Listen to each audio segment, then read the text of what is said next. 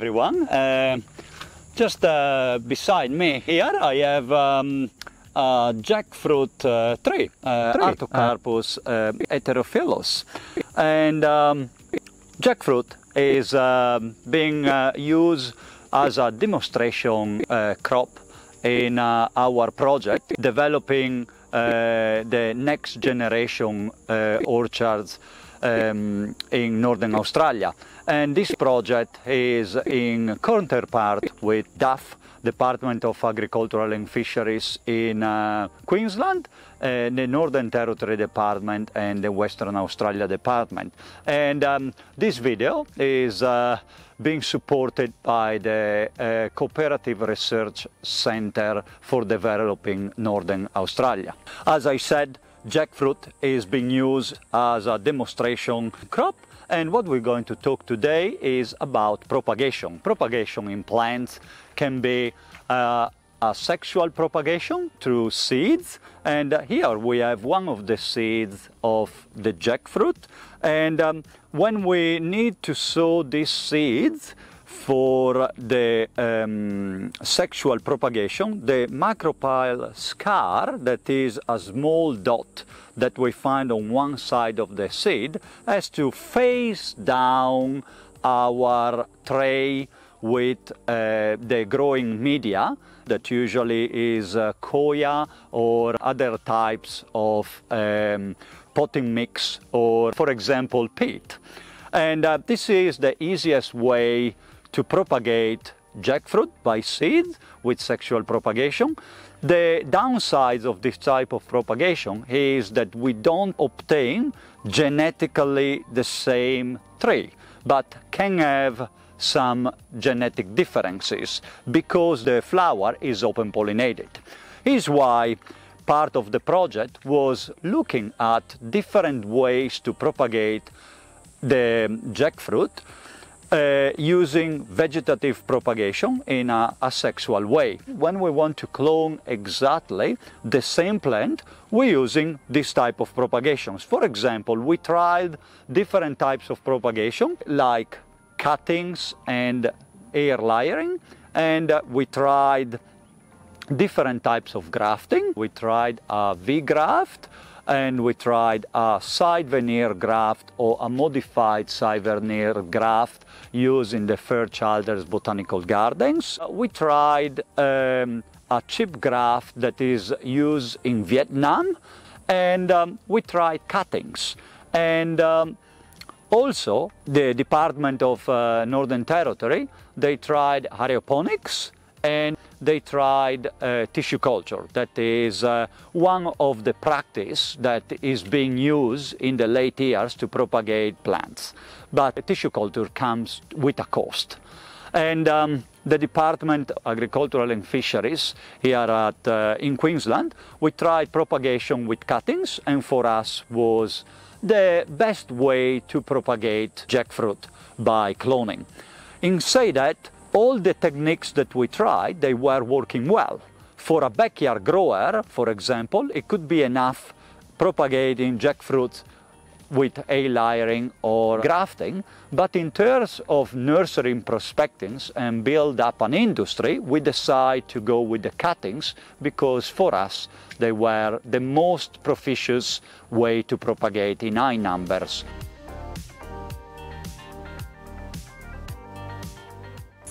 The first step for uh, propagating by cuttings is um, find the right material, the right cutting material.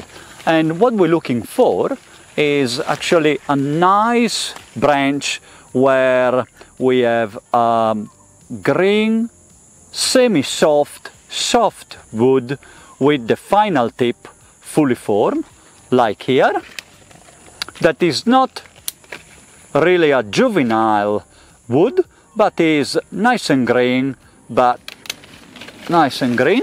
And uh, this is the type of cutting that we're looking at. The first step, uh, it will be to remove all these excessive leaves that they're going to take away energy from, uh, from our cutting. And uh, this is the cutting that we like to use for our experiment. At this point, we can uh, collect the cutting and uh, put in a bucket where we will seal the bucket for transport to the facility where we're going to do the cutting.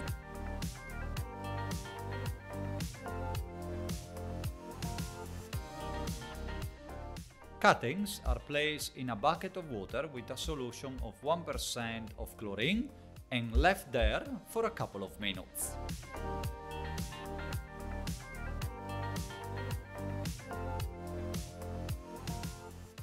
After a few minutes, the cuttings are ready for the preparation before the second treatment with Scholar fungicide. The aim is to leave 4 to 5 leaves maximum in our cuttings. And uh, so what we are doing is trim back the cutting and cut into half through the midrib for the photosynthetic process when the cuttings are placed inside of the humidifier.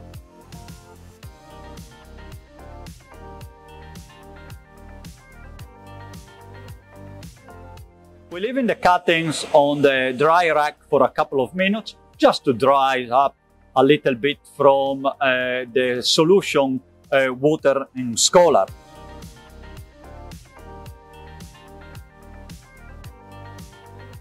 Now the final preparation, it takes place here where we have two different uh, cutting tools that we can use. We can use, you can use other cutting tools like secateurs, but they have to be really well sharp because what do you want to do is have a neat, sharp cut through the node of your cutting. I'm going to use a grafting knife, but we can use cheaper cutters. Um, you know, what you can find actually in the stores. And uh, the difficult part and the most, uh, the difficult part and the most complicated part has to be is this one here, where we need to try to do um, cut between uh, the node from one side to the other side of the internode.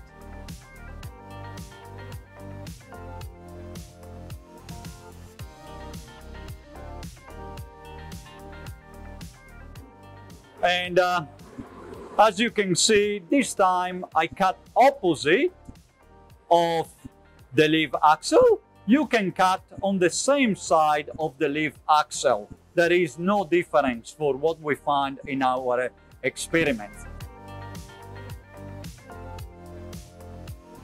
After that, the only next step that we're going to do is to take the cutting and uh,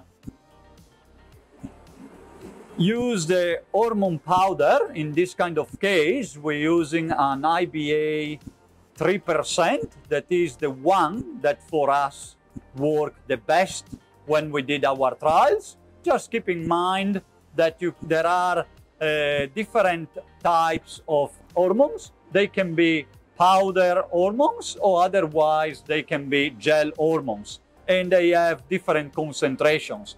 As I said, we're using the 3 IBA. Now, what is left to do is insert the cutting into the rooting hormone.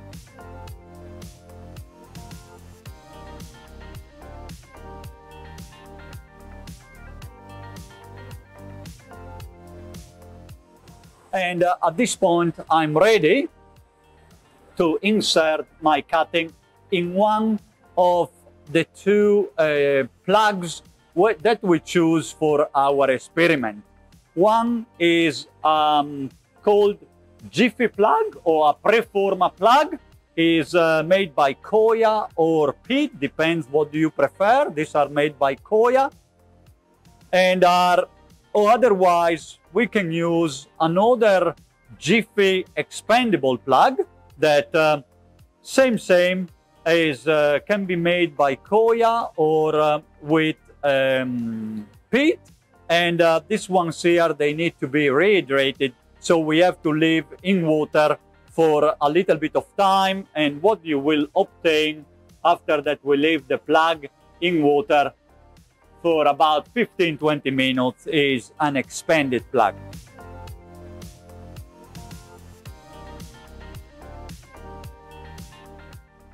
What we're doing, we insert our cutting inside of the plug and we're positioning uh, our cutting with the plug in the plug rack.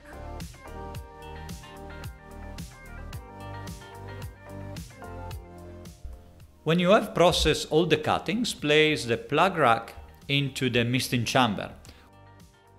We set our chamber heat mat to 27 degrees Celsius to maintain the plugs at the same temperature and the air temperature has to be maintained between 24 and 33 degrees Celsius. The misters are set to come on for 20 seconds every 15 minutes between 6 am and 6 pm.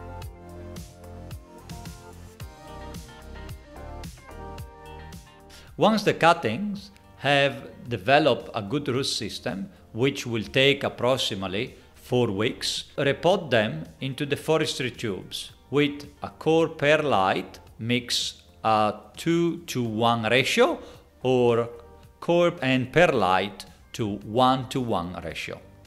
Keep the cuttings in the forestry tubes for a week or two in the misting chamber to acclimatize.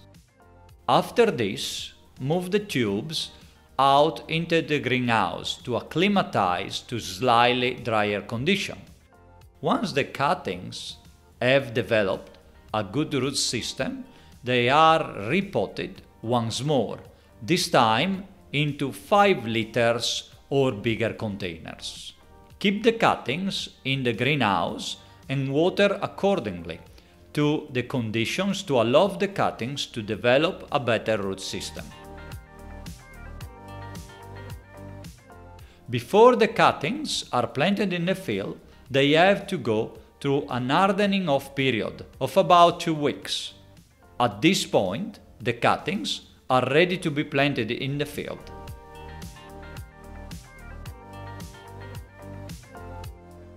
Here we are with an example of 17 month old jackfruit cuttings planted on a trellis system at 3 meter spacing.